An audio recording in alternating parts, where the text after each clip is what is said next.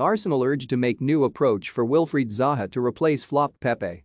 Arsenal have been urged to make another bid to snatch Wilfried Zaha away from Crystal Palace this summer. Gunners great Paul Merson reckons the Eagles winger would be a game-changer for his old club and could be available for a knockdown fee. Arsenal had a £40 million bid for the Ivory Coast star rejected in 2019 and ended up paying £72 million for Nicolas Pepe instead. But in his Daily Star column, Merson wrote, Arsenal should go back in for Wilfried Zaha and try to sign him from Crystal Palace this summer. They wanted him before and missed out. But Zaha wanted to join them, and he won't stay at Palace forever. I think he would have made a difference to Arsenal. He's better than Nicolas Pepe. He draws players towards him and makes things happen. It's a good time to buy him.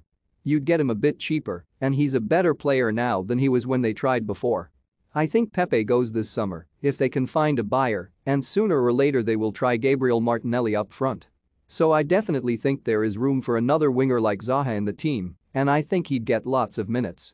Merson reckons Zaha, who will be 30 in November, has plenty left in the tank and is actually a better player now than he was when Arsenal first went for him. He wrote, I think Zaha makes much better decisions these days. He commits players. And the way Arsenal play, he would free up space for others. He would find it easier at Arsenal than he does at Palace because their teams double up on him all the time because he's the danger man. He would be quite shocked how easy he would find it at Arsenal, how much space he would get because teams couldn't double up on him there. They are going to need another winger if they get in the top four.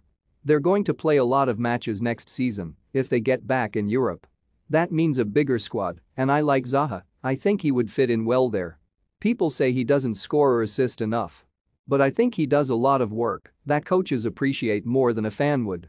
In this day and age with all these stats we have, an assist could be giving the ball to someone who smashes it into the top corner from 35 yards.